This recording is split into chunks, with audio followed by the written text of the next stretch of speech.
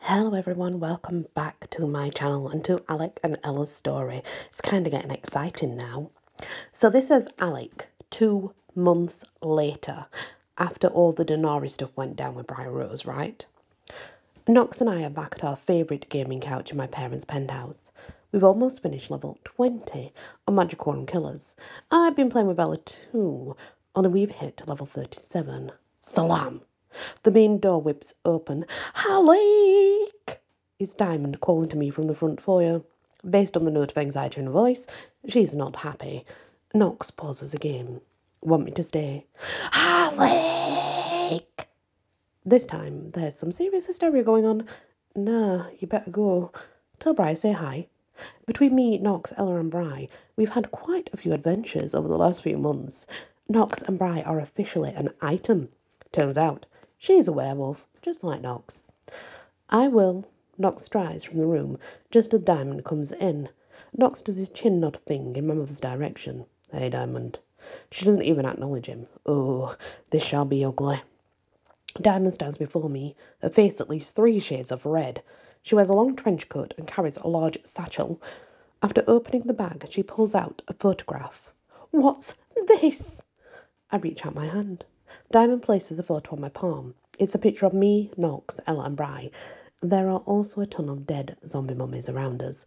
Long story short, Knox finally got to watch his lifelong nemesis duels get totally destroyed. Did I say we've had an exciting few months? It's true. I hold out the picture and make a great show of examining it. Do you have someone following me? Both you and your father. It seems I can't trust either of you. That's exceedingly rude, Diamond. But I say that with a smile. You can get away with a lot when you smile. Stop avoiding the issue. What is this? I fought some zombie mummies. It's not like we don't have one locked up in the sub basement. And we do. Another long story. Knox has a new girlfriend. She got in some trouble. I helped. And this. Diamond hands me another picture. This one shows the four of us in Egypt, posing before the pyramids. I took a long weekend in Egypt. As I speak, I'm careful to keep my voice casual. It's another Knox thing. His girlfriend is rather prone to trouble, but it's all good now. I reach for the gaming controller. If you don't mind, I'm almost done with my level here. Diamond moves to block my view of the screen.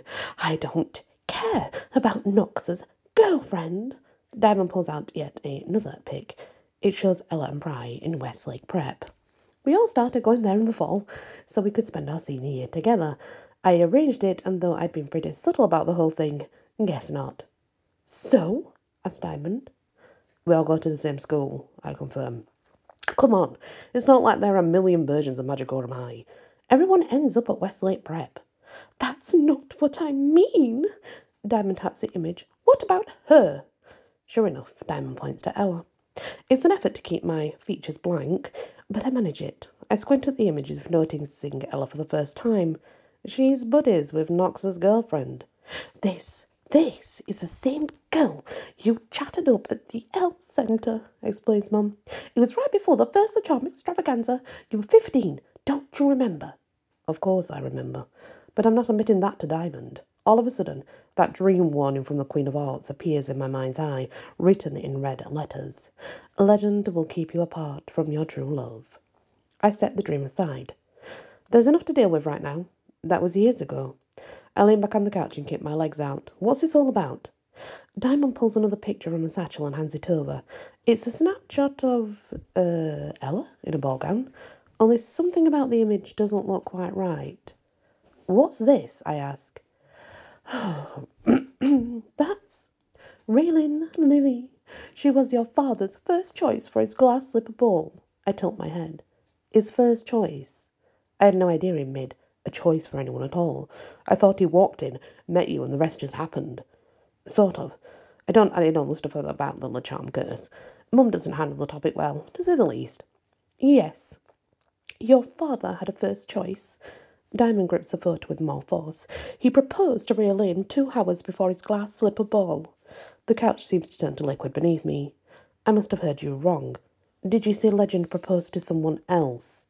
Yes. Raylene, turned him down, and married Declan Cinder. Diamond then pulls out the image of the pyramids. That's Raylene's daughter, Ella. I can't believe this. Ella's mother was Legend's first love. Yes, and you're traipsing around with her. That's completely unacceptable. Do we understand each other here? Knox is my best buddy. Briar Rose is his mate. Ella is Briar's best friend. I can't avoid this girl.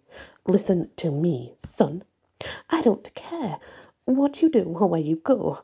We got Knox an apartment so you can have parties, and that's fine. But Ella Cinder. Mum grabs the foot and jams them back in a satchel. She's off limits. Diamond stomps out of the room.